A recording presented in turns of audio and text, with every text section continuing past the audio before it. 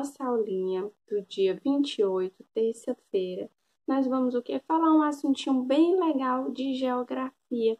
Vocês já ouviram falar em meios de comunicação? Vocês sabem quais são os meios de comunicação e para que servem os meios de comunicação? Eu tenho certeza que vocês já utilizaram algum.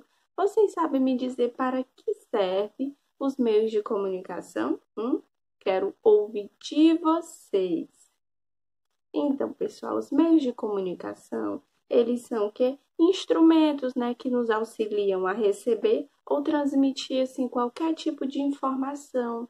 Os meios de comunicação, eles servem para a gente se comunicar com as pessoas que estão perto e que estão longe da gente, vocês sabem? Você tem algum parente que mora o quê? Fora do Brasil? Você tem algum parente que mora o quê? Em outro estado? Em outro lugar que não seja aqui na nossa cidade de Parnaíba ou que não seja perto de você? Hum? E como você faz para se comunicar com essas pessoas? Você usa só o telefone? O telefone celular? O que mais você usa? Hum? Nós temos um meio de comunicação muito eficaz a internet.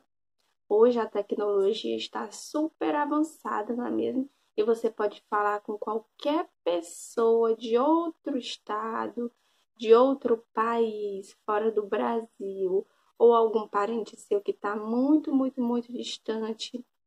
Digam para ti aí quais foram os meios de comunicação que você já utilizou. Hum?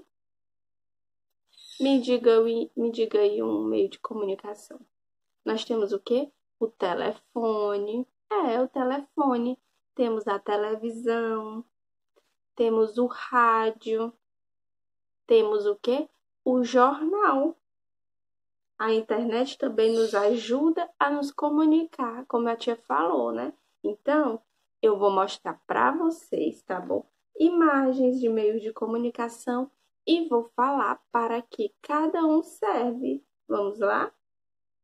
Pode ser, a gente também tem o um meio de comunicação, a carta, temos revistas, livros para a gente ver as notícias do que está o que acontecendo, tanto no nosso é, na nossa cidade quanto no nosso estado, tá bom? Então, nós vamos, eu vou mostrar para vocês e vou falar para que cada um deles serve, tá bom? Mas eu tenho certeza que vocês sabem. Então vamos lá, com a tia vou mostrar para vocês. Olhem só essa imagem do celular antigamente até os dias de hoje, até os dias atuais. Vocês têm um celular, pessoal? Eu quero que vocês me digam se você tem um celular. E como era o seu e como é o seu celular? Será se ele é parecido com esse daí de antigamente? Olha a evolução do celular, do jeito que eles eram para chegar até como eles são hoje. Um meio de comunicação. Então, o telefone celular, o telemóvel chamado, né, que a gente pode levar ele para onde a gente quiser, ao contrário do outro telefone, que eu vou já mostrar para vocês. Ele é um aparelho de comunicação por ondas eletromagnéticas que permite a transmissão de voz ele permite que eu fale com você e que você fale comigo através de uma área geográfica que tenha sinal de celular.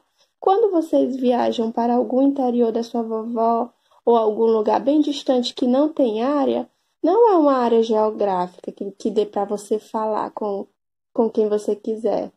E também ele se encontra dividida em células, tá bom?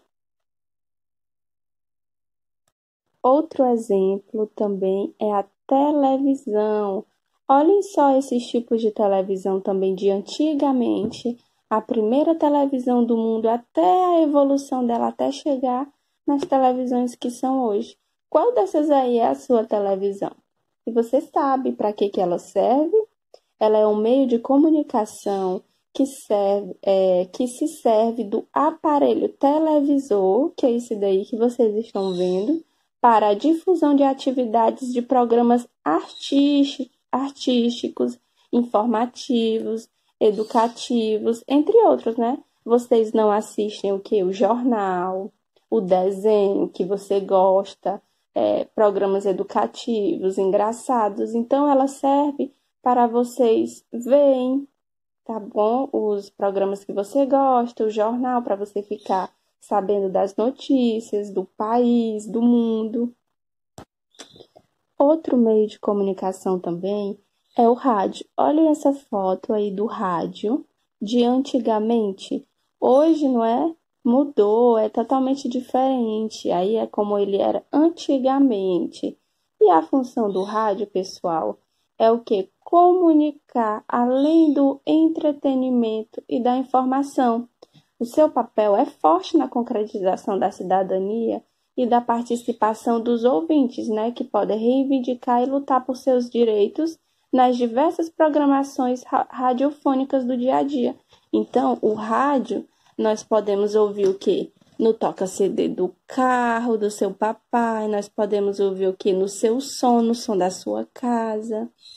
Nós temos rádio no nosso celular também, tá bom? Então, nós podemos ouvir o rádio é, em qualquer lugar que a gente quiser, que tenha sinal também, né? Então, para a gente se informar, a gente não vai ver o que estão nos informando, mas nós vamos o que?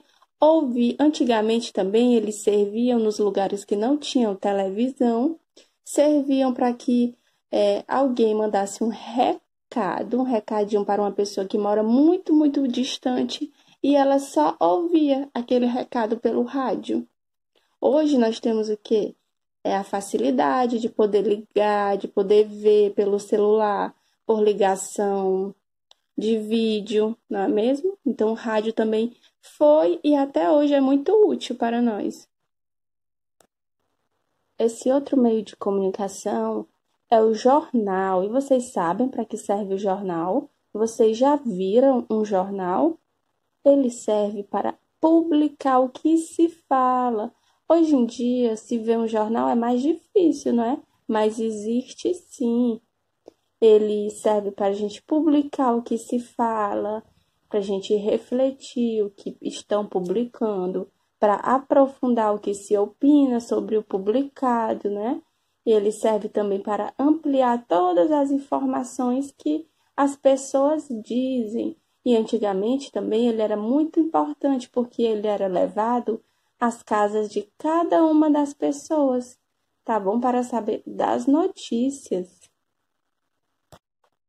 Esse que mostrei para vocês são alguns dos meios de comunicação, tanto de antigamente como como eles são hoje. Nós tínhamos também a carta, pessoal. A carta a gente fala, a gente escrevia para pessoas quando não tinha internet, quando não tinha telefone celular, quando não tinha o que rádio, a gente escrevia a carta e mandava para a pessoa que morava muito, muito, muito, muito distante da gente. E essa carta levava dias, levava, levava até meses para chegar, tá bom? E era assim que as pessoas se comunicavam com as outras. Hoje ficou tudo mais fácil, que nós temos também a ajuda da internet, que na internet nós temos o que? Podemos ter internet no celular, no nosso computador, no nosso tablet, não é? Então, hoje em dia ficou muito, muito mais fácil a comunicação do que antigamente, que nós temos revistas hoje em dia também para saber as notícias. Nós temos livros também, tá bom? que são muito importantes, que nós não podemos deixar de ler. Então, esses foram um pouco dos meios de comunicação que eu mostrei para vocês. Como atividade de casa, eu quero que vocês façam o quê? Ou vocês podem fazer um desenho, ou vocês podem escrever no caderninho de casa, do jeito que vocês preferirem. Aí você vai me mandar uma fotinha que você vai fazer o meio de comunicação que você mais usa se você usa o celular, se você usa o tablet, se você usa a televisão, se você usa o rádio, se você faz uma carta para sua mamãe, para o seu papai, para sua vovó, tá bom? Em meio a esse meio de pandemia, pessoal, que nós estamos em casa, que nós estamos, que a gente não pode ver nossa vovó, nosso vovô, a gente tem que ficar em casa com os nossos pais, tá bom? Nós não podemos E o que que você faz para matar a saudade de quem está distante de você, de quem você não pode abraçar? Você usa que tipo de meio de comunicação? Hum? É o celular ou você manda uma cartinha hum, dizendo que ama a sua vovó, que você não pode ver ainda. Então eu quero que vocês me digam e mandem uma foto para tia, tá bom? Um beijo.